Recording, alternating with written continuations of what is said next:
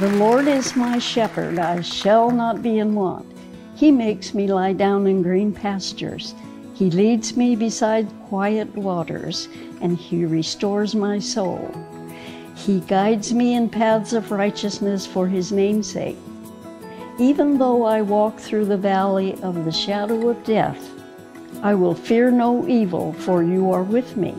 Your rod and your staff, they comfort me. You prepare a table before me in the presence of my enemies. You anoint my head with oil, and my cup overflows. Surely goodness and love will follow me all the days of my life, and I will dwell in the house of the Lord forever. I'm Marian Pina, and I've been walking, truly, truly walking with Jesus oh, goodness, what about 40 years now? Well, in my walk with is to, to know that He's there for me. And I can at any time communicate with Him. That doesn't mean I get the answer right away, but I have peace of mind. Things can go crazy, okay? But I don't follow it anymore.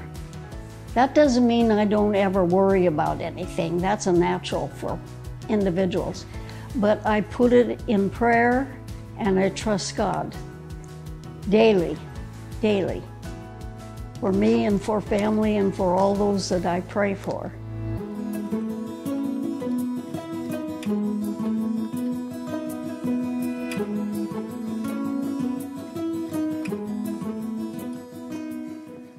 When you listen to Marion Pina talk, you almost get the sense that she knows what it means to walk with Jesus, don't you? I mean, pretty obvious, isn't it? Do you know that that's Pastor Roy's mom? One of our pastors here at Shoreline Church. I love listening to Mary and I love watching Mary and just live her life because she walks with Jesus. Last week we celebrated the resurrection that Jesus, who came, God among us, died on the cross for our sins in our place, was buried in the tomb for three days, and he rose again. And we celebrated that. But today we're talking about, we're starting into a series talking about what does it mean, you know, can, can, we, can we walk with Jesus? I want you to imagine, just for a moment, just imagine that you lived 2,000 years ago and you got to walk around and follow Jesus when he walked on this earth. There's this whole group of, of, of men and women who followed Jesus, who listened to him teach. That would have been amazing to actually you know, physically walk with Jesus around that part of the world and listening to him teach and watching him do his miracles. And then imagine this. We know that when Jesus died on the cross, they buried him. When he rose again, after he rose from the grave, before he ascended to heaven, was about 40 days. And during that time, Jesus walked with people. He showed up, he had meals with people. He kept kind of just showing up and popping up different places and, and teaching and caring and exhorting and walking with people and eating with people and just, just doing what would that have been like? To the res- I mean, now, it, now it's just, and when Jesus was risen, he was the same in ways, but he was radically different, right? What would that have been like to, to actually walk along with the risen Lord Jesus Christ? And I want to suggest to you that it's possible. That's actually God's design. When Christ rose again from the dead, when he ascended to heaven, he said, I'm going to send the Spirit to be with you. I will be with you. And in a sense, Jesus said, you can spend all your, the days of your life actually walking through your normal daily life, walking with Jesus. So, the best way to learn about what it looks like to walk with the resurrected Jesus is to open this book, the Bible, which we believe is true from beginning to end, and, and read those stories from the time that he rose from the grave until he ascended to heaven. That's what we're going to do for the next six or seven weeks. We're going to just look at that and we're going to ask the question can I learn from how Jesus, the resurrected Jesus, walked with people, because maybe there's lessons we can glean and say, that might help me get a picture of what it looks like to walk with Jesus day by day and to follow him. Uh, because Jesus was sort of showing up and surprising people, I, I started thinking about there's something exciting about a surprise, about a new discovery. Now, my little boys are now all in their 30s. But I remember when they were little, little boys, and we had a jack in the box. Now, I don't know if people do jack in the box. It might be too scary for children today. Might be, you know, maybe, we're not allowed to use Jack in the Box, but my boys loved it. And like the first time the, the, the, Jack in the Box popped out, and the 50th time, they got just as like, whoa, and then laugh, and they think it was so exciting. So if you, how many of you remember Jack in the Box? If we, okay, so, so You'll, you'll recognize the tune It hasn't changed. Ready?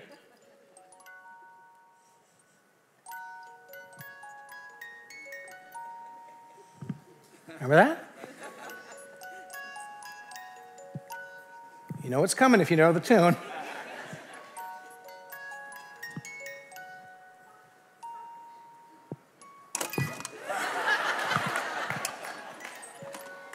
Remember that? So I, would do that. My, my boys would go, they go, oh, and then they go, and they laugh, and they go, then they give you that look like kids do to parents, like that look like, which is what? Do it again. You know, so you take the little arms and you tuck them in, you tuck the little guy down there. Okay, here we go, here we go, ready?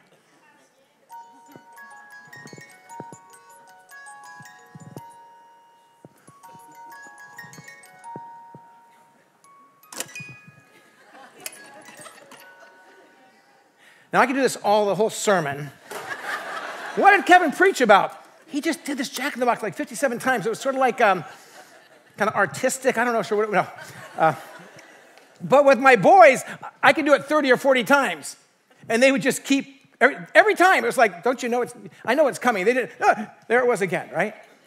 Well, that, there's something about a surprise. If, if, if, you're at a surprise birthday party, even if you don't really want a surprise birthday party, there's something about that moment when all your friends are there, like, oh, surprise. You go, oh, that's wonderful.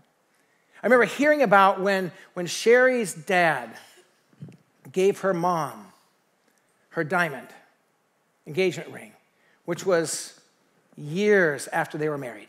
They didn't have the resources to buy a diamond when they got married. But years later, he surprised her. She'll never forget that moment. Well, what we find in Matthew, Mark, Luke, and John in the Gospels that we'll be looking at over these coming six weeks is we find that Jesus just keeps popping up. He keeps surprising people. And, and I said before that when Jesus rose from the grave, he was the same, but he was different. So his character was the same. He was God with us, he was Emmanuel. But he also, when he walked on this earth before he rose from the dead, he never like had people in a room where the door was locked and he just appeared in the room. But now he could. I believe when Jesus came among us, he came in a physical body so that he could die on the cross for our sins in our place and take our suffering. But now he has a risen body. So he's the same, but he's different. And you notice that in some of the stories that you read about Jesus. And so what we're going to do today is we're, we're going to say, say, God, open, I'm going to invite you and pray that God will help us open your eyes and see the risen Jesus. He's alive and present. That's the prayer today, is that we would recognize God, open our eyes that we can see that Jesus Christ is risen, He's present, and then that we can learn to walk with Him. And, and so we're going to start with what I call the text we believe, this book. That we believe this is God's word, we believe it's true. So if you have a Bible with you, if you have a Bible app, if you're here at home and you want to turn to Luke chapter 24, we'll have all the passages on the screens. We'll have them on your screens at home. But if you want to follow along in your Bible and take some notes, that's great too. But we're going to walk through Luke 24, beginning in verse 13. And where we're picking this story up is it's still Resurrection Sunday. So Jesus has, has gone through the trials, he's been condemned wrongly, he's been crucified. He's buried. Three days have gone by. He's risen from the dead. The women have come to the tomb and, and, and seen the angels and, and then encountered Jesus. And, and now people are, words getting out, but some people still don't believe. And there's these two guys. One's named Cleophas, the other one we don't know their name and they're walking back, they're leaving Jerusalem on the Emmaus Road to go back home to their hometown. It's about a seven mile walk. Now, that means if you were to leave the church right here, walk out to 68th Street, which is a busy street, don't walk on the street there, but if you were to walk on that street, you'd walk towards Salinas, go over the, some of the hills, you'd pass Corral de Tierra, you'd pass San Benancio, you'd keep on walking. You get to a, about Fort Ord uh, on the left, the Fort Ord Hills, where there's a hiking area there and the monument there, and on the right, it's the Toro Cafe. That's about seven miles. So these, these two guys are walking along. That's where we pick up the story. It's Easter Sunday. They've heard rumors that Christ might be alive, but they don't really know what's going on, and they're walking home. By the way, no phones, no texting, not that it wasn't allowed, it didn't exist. There's no way, to, so people back in their hometown won't know anything unless somebody travels and tells them what's going on. So they're heading back home again. We pick it up in verse 13 of Luke 24. If you have your Bibles, just follow along, otherwise, follow along on the screens. Now, that same day, the same day as the resurrection, that same day, two of them were going to a village called Emmaus, about seven miles from Jerusalem. They were talking with each other about everything that had happened. As they talked and discussed these things with each other, Jesus himself came up and walked along with them. Get the picture? They're walking along, long walk, long hike back. They're going back.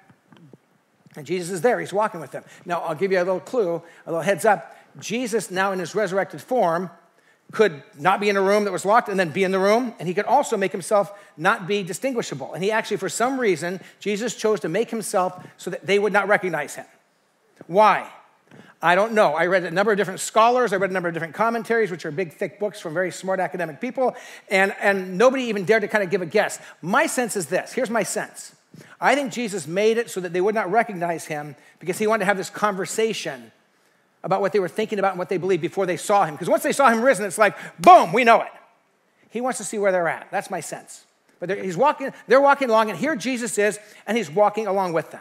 So just, I want to make some observations of things of what does it look like if we actually live our lives today walking with the resurrected Jesus like they walked with him then?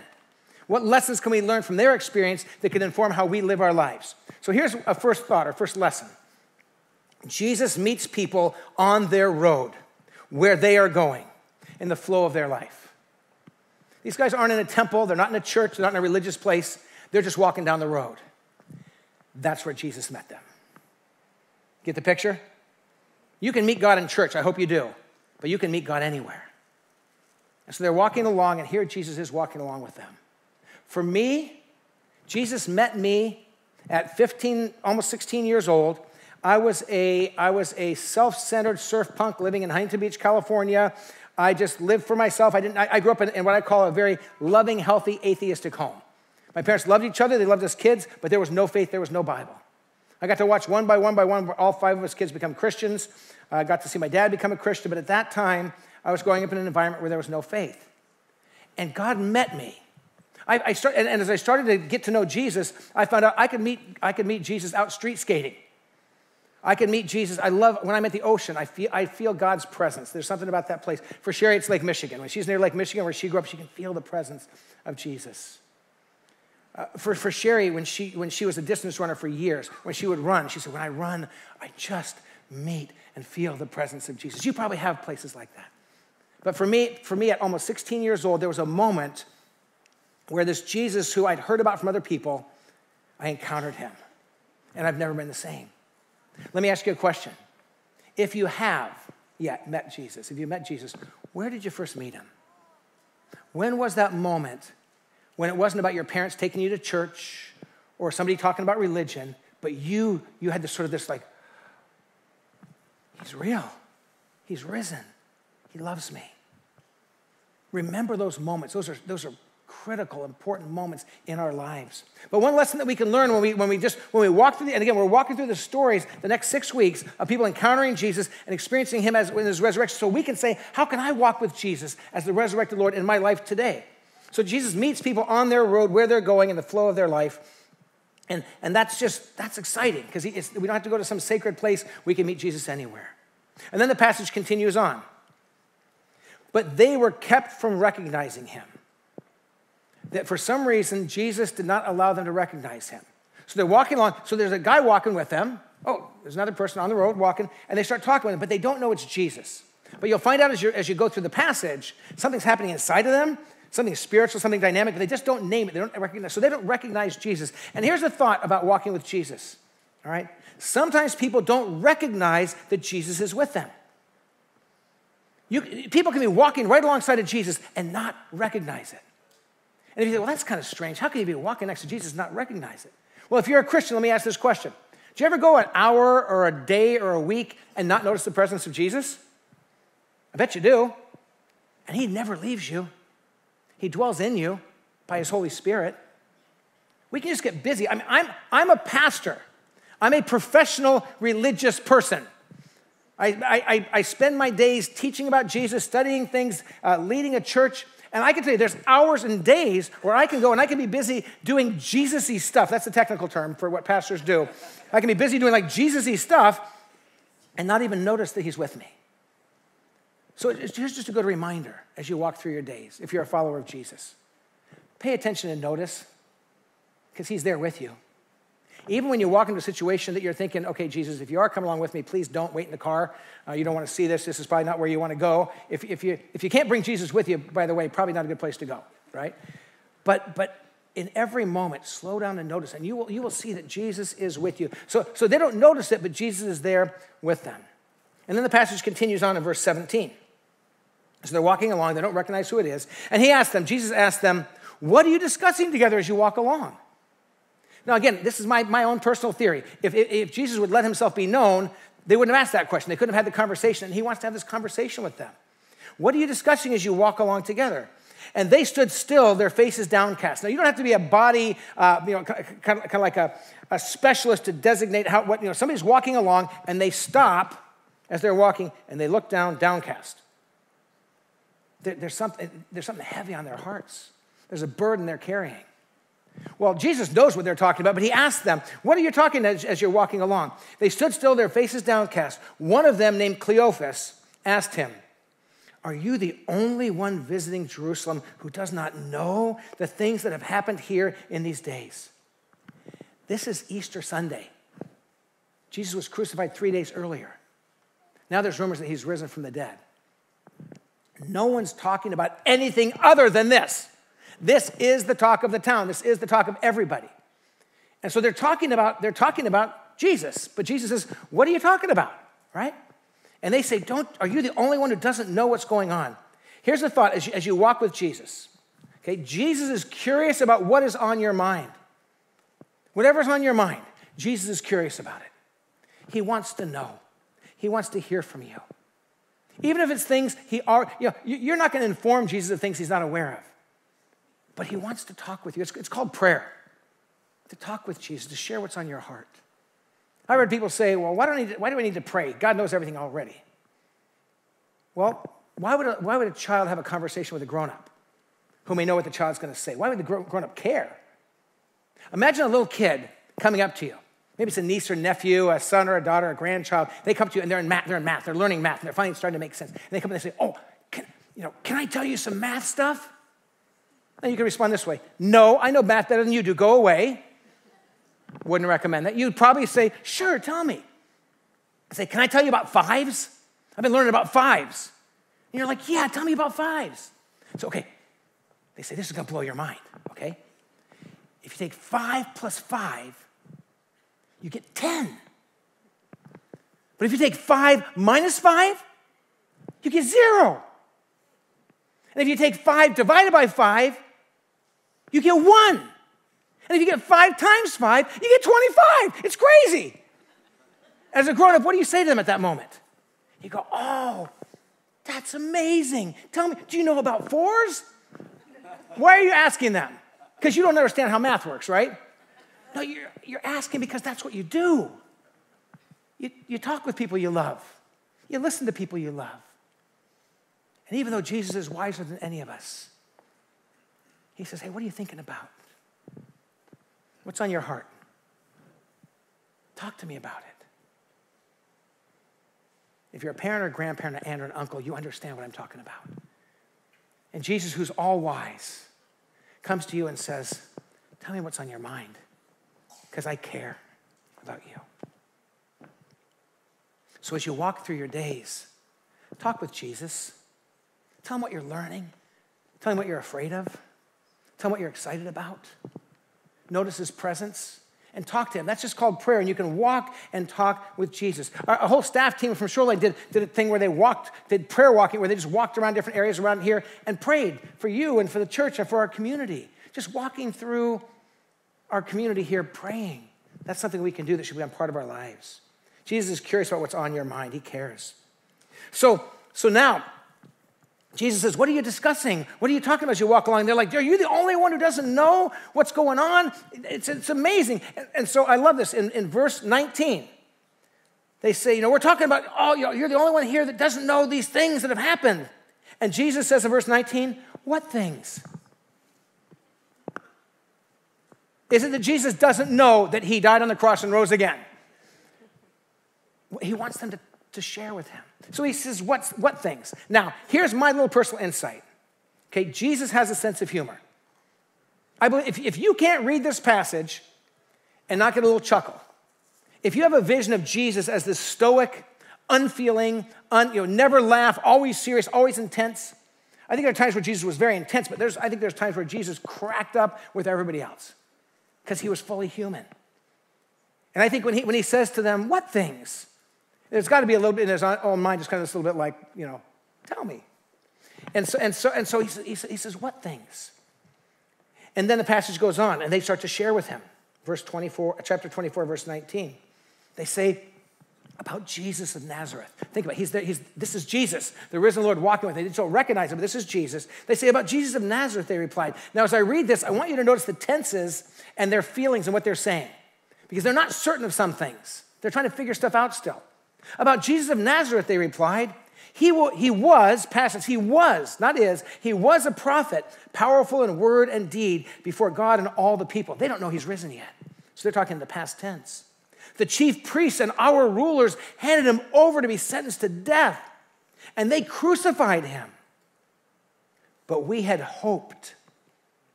See, it's, it's past tense. They don't know yet. We had hoped that he was the one who was going to redeem Israel.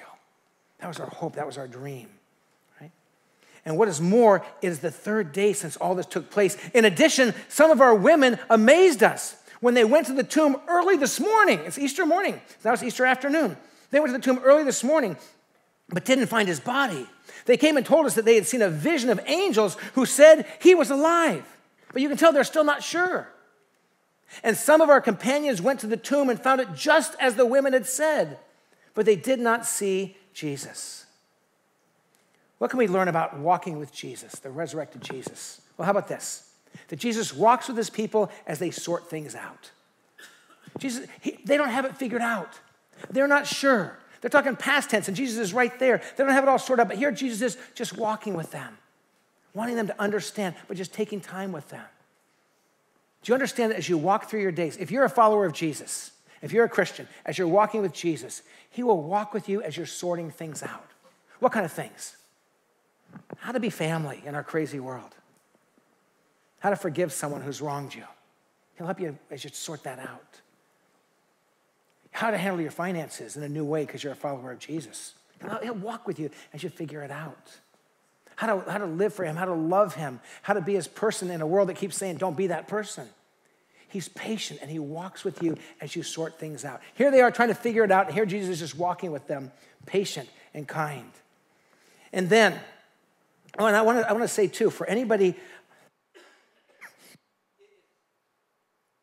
if you're gathered here, if you're online, and you say, you know, I'm one of those people that I, I haven't put my faith in Jesus yet, but I'm kind of, I'm, I'd love to, if Jesus would walk with me and help me sort it. I want to figure out the whole Jesus thing. If that's you, we have something we just started just this last week. It's like a 10 or 12 week uh, small group kind of gathering of people where you share a meal and you watch a short video about, about Jesus, and then you have just totally open conversation talking about Jesus. And you can ask any questions. You can say, I don't believe in that. I just, and nobody's going to condemn you or you just open conversation. If you go, man, I'd love to meet with some people for, you know, for a couple, you know, two and a half months and just once a week learn about Jesus and talk about that'd be really helpful for me. When, you're, when we're done today, go to the Connection Center and just say, hey, tell me about that. It's called Alpha, which is the first uh, letter in the Greek alphabet, but it's just called Alpha and just say, tell me about the alpha group or that A, that eight, you know, if you just say, remember the first letter A, but say that alpha group, and uh, we'll connect you with somebody. But, but Jesus just says, walk with me. I'll walk with you, and you can sort it out. That's huge. And then the story continues on.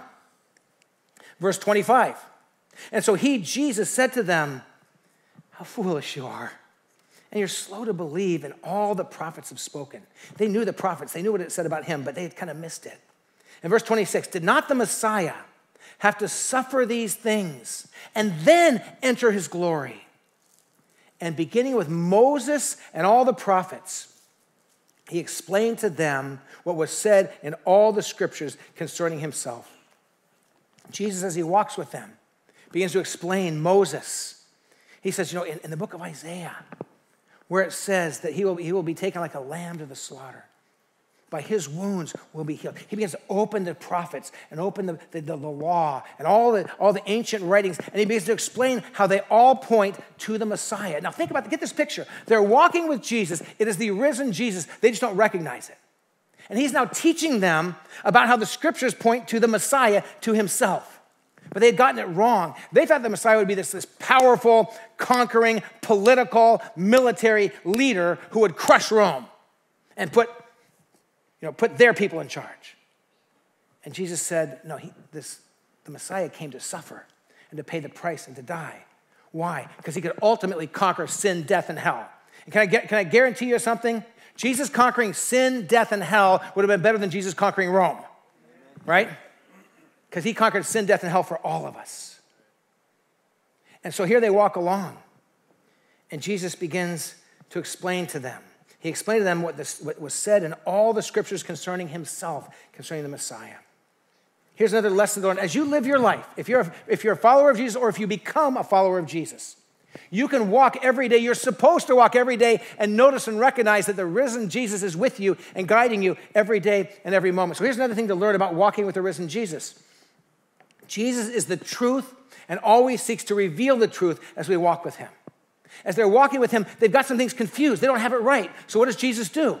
He starts to explain to, to them from the scriptures what the truth is. In God's mind, there's not your truth or my truth, there's His truth. We don't get to make, if, if everyone gets to make up their own truth, then there is no truth, right? If I say five plus five is 10, you say, well, for me, for me, five plus five is 15. And I have to say to you, well, no, that's your truth, that's fine. We can't even communicate. There's either truth or there isn't. And so, so Jesus, so as Jesus walks with them, he's explaining what's true. Can I encourage you? to keep walking. If you're a Christian, keep walking with Jesus. As you walk with him, can I challenge you open this book and read it every day? Until your life ends, every day. Listen to it or read it. Either way, get it in your mind, get it in your heart. And if you say, Well, I don't know where to start or where to read in the Bible, we actually create every week that I preach or every week that one of our other pastors preach or any guest preacher, we lay out a seven day reading plan to get you ready for the next Sunday sermon. And we put it, we put it on our website and we put it on the Shoreline app. So if you have it on the Shoreline app, all you have to do is open your app, go to the reading, and you, it's day two. So, so it's, uh, it's Monday, it's day one. You click, you hit number one. It opens the passage. You can read it off your phone or your tablet, or you can open your Bible if you find the passage, or you can actually hit a button that has a speaker, and you can let your phone or your app read the Bible to you. But every day, let the truth of God's word fill you. And as you walk with Jesus, say, Jesus, I want to walk in your truth. I want to walk in your ways. I don't want to just have my own opinion or somebody else's opinion. And so Jesus, as he walks with these people, he explains to them the truth. Now, I think now they're getting ready to recognize who it is they're talking to. And so we pick it up at verse 28 of Luke chapter 24. As they approach the village, now they've gone, they're seven miles, they're coming near Emmaus. As they approached the village to which they were going, Jesus continued on as if he were going farther. But they urged him strongly, Stay with us, for it is nearly evening. The day is almost over. So he went to stay with them. Very common practice in the ancient world. There were not hotels, there were not places to stay, but if somebody was traveling, it was going to be night. Traveling at night was dangerous. No streetlights, no flashlights. I mean, so they said, well, come stay. Very common. So he stays. They sit down to have a meal. I love this. They sit down to have a meal. When he was at the table with them, he took the bread and he gave thanks. He did this so many times in the Gospels. He took the bread, he gave thanks, and he broke it, and he began to give it to them. And then their eyes were open and they recognized him. Jesus just sort of dropped the veil. And then they're at the table, they're like, it's Jesus. And watch what's next. And he disappeared from their sight. He never did this before he rose from the dead. This was not a Jesus thing before he rose, but now he's in a resurrection body. So he keeps them from seeing who he is. I think to have this great conversation, now they're ready to recognize him. He drops the veil, they see him, and he's gone. Interesting story, isn't it? Interesting story. So, insight for how you walk with Jesus, just walking with the resurrected Jesus in your normal life. Jesus loves to unveil his presence in the ordinary moments and places of life. Jesus wants to show you that he's with you. Pay attention, open your eyes, tune in. He loves it. You're in the middle of a tense relational conflict, maybe even a fight or tension. Jesus says, Pay attention. Look, I'm right here. And if you recognize his presence, you know what? All of a sudden that tension starts to change. Okay, watch my mouth, you know, wait, hang on. And everything looks different when you know Jesus is right there with you. Um, he wants to unveil his presence. When we gather in worship, yes, I, I hope you experience the presence of Jesus.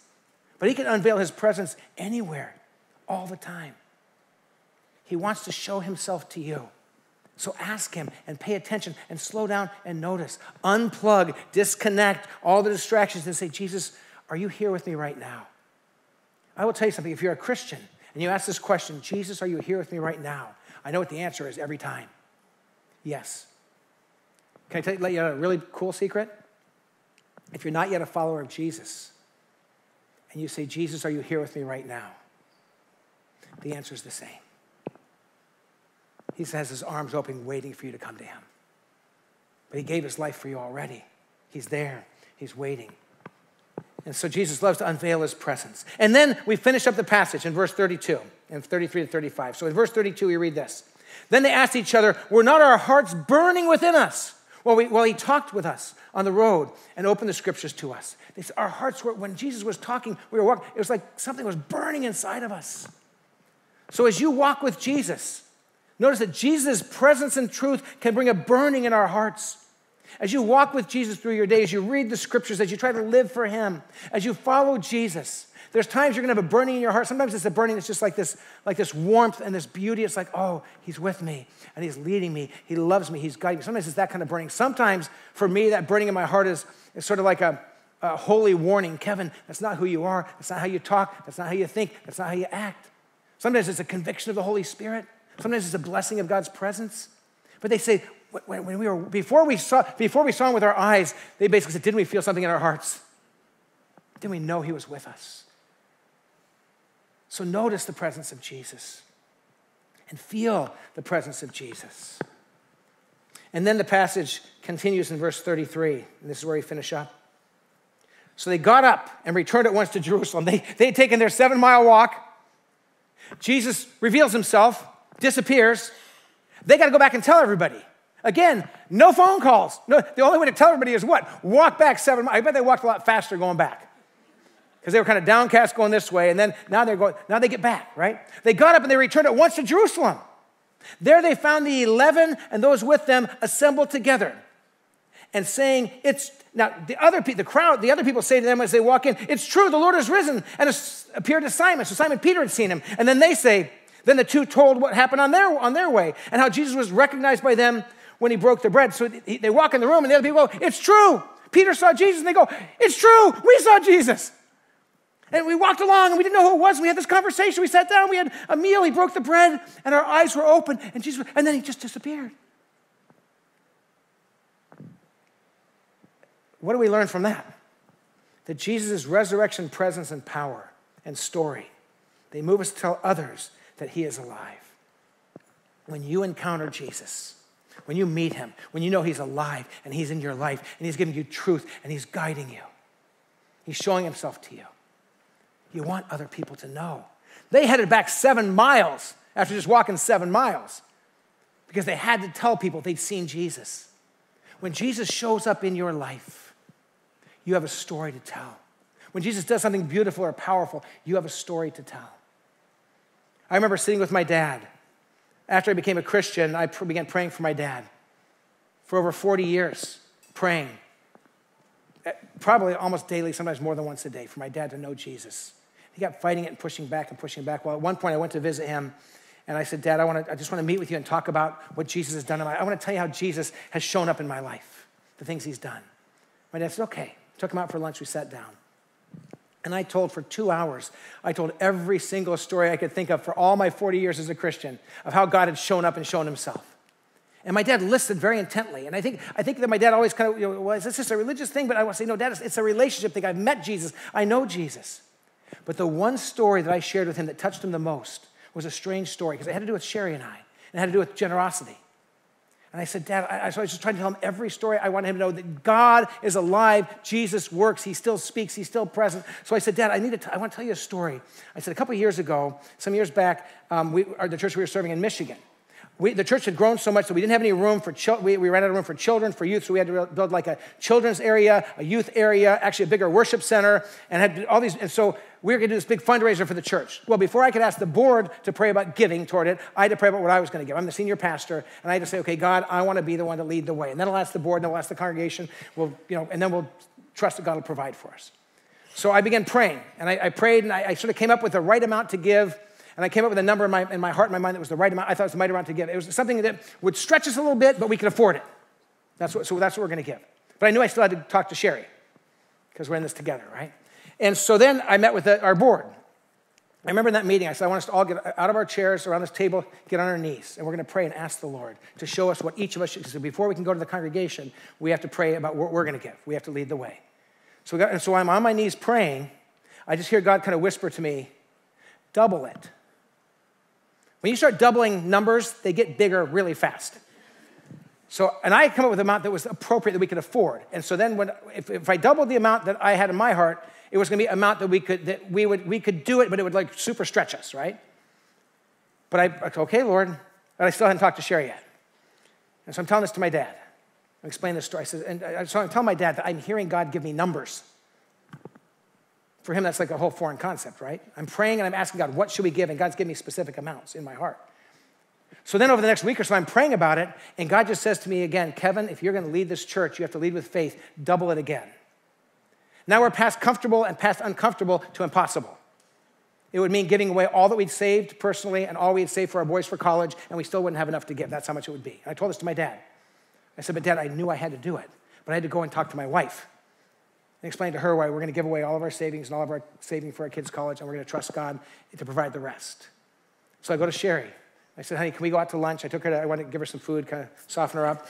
Um, we went to Peking in our favorite little Chinese place, and I said to Sherry, hey, we need to pray together about what we're going to give toward this whole building project.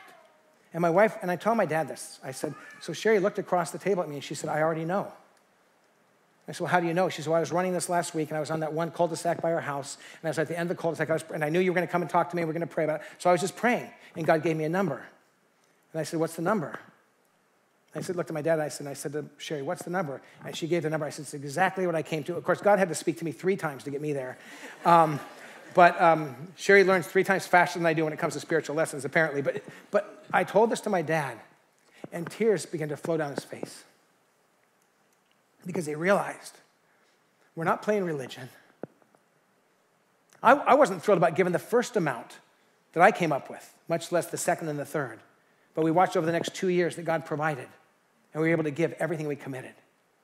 Then I actually told my dad and said, Dad, about, about a year later, we had to do another building thing to, for growth in the church, and God told me double it again. And I told him that Sherry and I, when we talked about that, we came to that, we both felt God said double it again. We'd already given the first amount. I said, we walked into our bedroom, we got on our knees, and we wept and we thanked God next to our bed that He would lead us so clearly, and we knew He would provide to my dad, that story made such an impact. A month before my dad died, he gave his heart to Jesus. I'm convinced that hearing story after story of people he loved and respected who had seen Jesus show up had impacted him. And you have stories to tell, little and big stories. So, Jesus, this is our prayer. We want to walk with you. You have risen. You've conquered sin and death and hell. Jesus, for you to have conquered the Roman empire would have been a small thing. You conquered all the power of sin and death and hell and our judgment, and you've given us forgiveness of sins in your name. We thank you for that. So, we who walk with you, and people listening who don't walk with you, who someday might, Jesus, may we recognize that you are with us every moment of every day. And Jesus, I pray over these next five weeks as we read all the accounts of people meeting you, Jesus, after you rose from the dead. May we learn what it looks like for us to walk with you every moment of every day, anywhere we go. Thank you, Jesus, that you're risen. Thank you that you don't leave us alone. Thank you that sometimes you veil our eyes and sometimes you reveal yourself, but you are always with us. Help us walk in your presence and power every moment of every day. We pray this in Jesus' name. And everyone said, Amen. Before I invite you to stand and send you off with a word of blessing, I want to give you a couple of invitations of some, some neat opportunities. One is this if you want to grow, in walking with Jesus and living for Him. One of the best things you can do is discover how He's made you and gifted you and then develop those abilities for His glory. We do a class about once a quarter, once every, four to, uh, every you know, three to four months, about knowing your own gifting from God and how to use it. It's a one hour class, and my wife Sherry is going to be leading that up in the Pacific room the garden room, top of these stairs or around the stairs over there, uh, in about five minutes. After I send you off, that class will be starting in, a, in, just a few minutes, so you can join Sherry. If you're online, that class will be offered at 1 o'clock when Sherry's done teaching that class live here on campus. If you're outdoors, family worship venue, if you can stay, jump in for that class. If you're online or if you go home and you want to get online, just register on the website. And 1 o'clock today, Sherry will be teaching the class uh, it live but online. All right? So that's available to you if you want to jump into that. I met a wonderful couple this morning, a new military couple here for the first Sunday. If you're here for your first Sunday with the military, or if you've been here for a long time, but if you're family of military or military, we have our quarterly military luncheon, and that is in the Pacific room. I need to write these things down. Actually, it's written right here. I'm just not looking at it. In the Pacific room. It's right there. Look at that. Right there in green, Pacific room. Okay, so it's right there in the Pacific room. Uh, and, and so uh, if you're part of the military, this gives you a chance, and it's not uh, it's just refreshments. They'll tell you about some of the ministries, kind of casual time to connect, but you can meet other people at Shoreline that are part of the military here and, and hopefully be able to connect with them and build some friendships.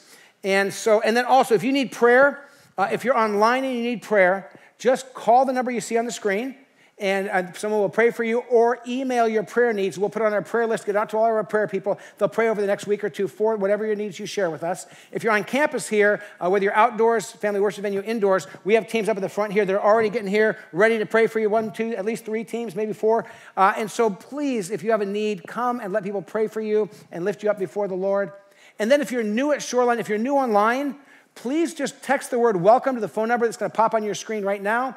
Text the word welcome, and we will reach out to you and connect with you and get to know you the best we can from wherever you are. If you're on campus, just go right here in the, in, in, the lobby, and there's a connection center. They have a little gift bag they want to give you and give you a personal welcome. So make sure before you leave the campus, you pop by there and just say hi and just say, I'm new. And they want to give you a warm welcome. If you're able to stand, will you stand with me? If you're at home, stand, out in the courtyard, stand, and just open up your heart to receive this closing word of blessing. As we leave this time together, May you walk with the risen Jesus Christ. If you know him, notice him. Pay attention. Listen to his voice. Read his word. And know that he'll never leave you alone. If you're not yet a follower of Jesus, I invite you to open your heart to him because his arms are open and he wants to walk with you all the days of your life. Go from this time walking with Jesus, shining his light everywhere you go, and we'll see you back here again next Sunday. God bless you. Have a great week.